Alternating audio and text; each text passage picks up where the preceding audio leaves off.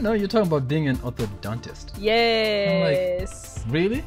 I really did. So- Even now, I if I could do the okay, why I stopped, right? Okay, where did you was- start, first of all?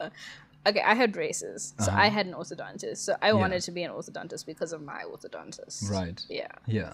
And I just really enjoyed the process, like learning all the things. Okay. Um, and I was like, you know, I really want to do So you this. actually went into learning about it. yeah, I had I had internships. I worked there for like Okay. more than a year. I think ma- close to two years. 16? Uh, yeah, Well- when I so when I first started, I had like an internship. Right. I think I was fifteen then. Yeah. An internship just for like a week, just Mm-hmm. seeing everything. Then the following year, when I was turning seventeen, I then actually went to work there, and Mm-hmm. I started doing their in-house like social media management and stuff. So because I was interested and I was a patient before, Yeah. it was easy for me also being in social media and knowing certain things Right. to give the, the theory and all the Yeah. technical stuff of braces and then translate it into like simple language Mm-hmm. and then give it to people because I was like a middle person between doc who's doctor and Yes. patient who's like um, what exactly so that's that's what I did and I really Mm. really enjoyed it Okay, so where did it. you stop? Ah, it's like 13 years of school that's not that's not where it ends right Mm. Yeah. my thing is I like orthodontics. But when you tell Yeah. someone orthodontist, they're like, "Ooh, a dentist," and I'm Yeah, like, like, no, no. it's not the same." Like, if it was the same, it Yeah. would be called a dentist. dentist. Surprise! so Spot the dentists um, in short or rather simplified, are just braces, where they deal with alignment of your jaws and Mm-hmm. teeth. And then dentists do more of like cleaning your teeth, extracting your teeth. Yeah. um, that kind of stuff. Right. So to do to be an orthodontist, you have to become a dentist first, and then you Yeah. specialize. Uh-huh. So I um, went to um, intern at the orthodontist. My Yeah. orthodontist was like, you know what, you should actually intern with a dentist because you have to do that first, anyways. Mm-hmm. And if you study like in the states, you have to do four years pre med, four years dental. Then you work as a dentist for like two years as like attachment or whatever. Then you specialize for like two and a half years. Yeah. Yeah. So he was like, you know, just go and intern. So I went. I interned as a dentist as well.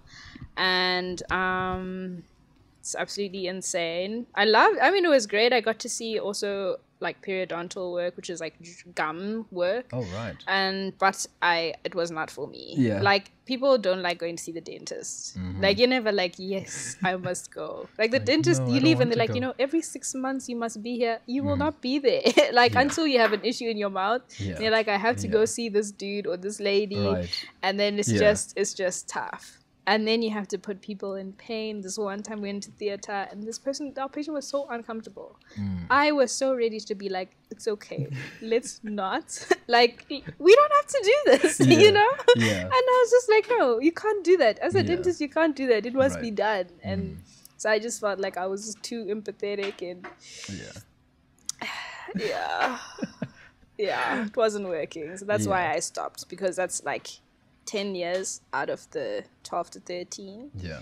Um, and even if you do it in any like the, the UK Australian system, Mm-hmm. you still do seven years for dentistry.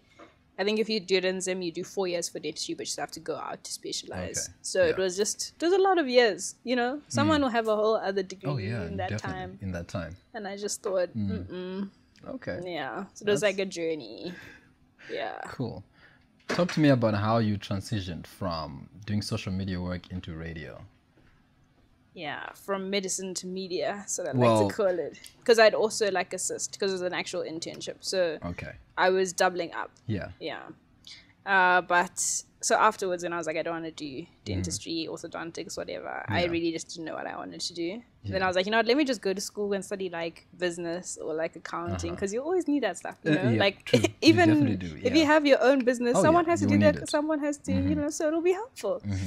So I was just telling my parents, I was like, I just didn't want to be at home anymore. Yeah. Uh, because I was homeschooled and stuff. My school was done by the time I was 16. Yeah. So I had done my A levels Right. and I should have been going to school. And I'd done school for medicine, but not, I didn't like do like exceedingly well. And med school so expensive. So now it was just like tricky as to like how we were going to go about it. So I just told my parents, I was like, I have no idea. And then I decided to actually fast and pray and be like, God, please. I don't know what I'm supposed to do. I don't know what I'm called to do. I just like to be shown, or I don't know. Yeah. And so I did. And afterwards, I was like, I didn't like hear like some kind of booming voice or whatever. But I was like, I told my mom, I was like, you know, I think I should be in media.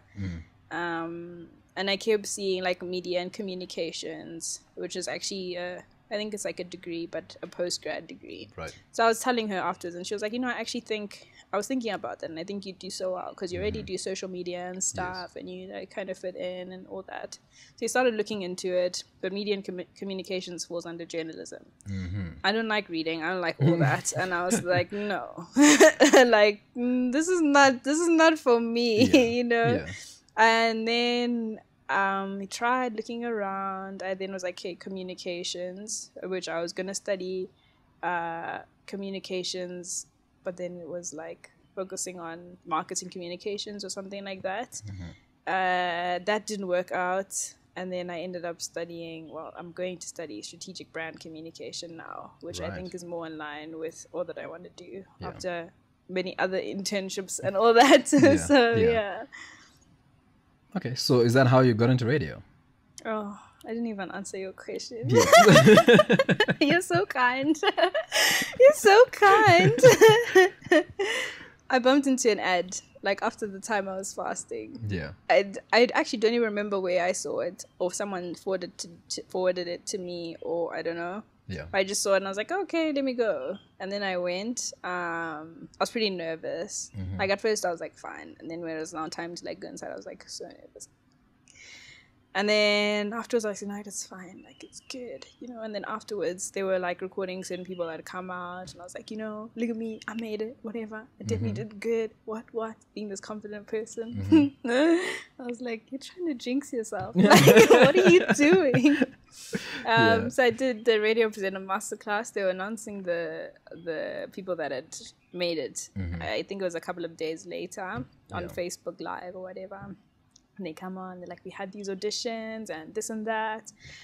And then they were like starting the names and they're like, okay, first person, Joanna Munengwa. I was like, Oh, the first person. eh? yeah. Right. So I was like so happy. Um, and just like, okay, wow, you know, this is radio. I'd never, it's not like some people are like, you know, ever since I was a child, I've been listening to radio and that's all I've ever wanted to be. Mm-hmm. It was just something that I really stumbled across. But I was like, you know what, I'm doing this, I'm going to give it my all. And I'd actually love to do something like this. yeah.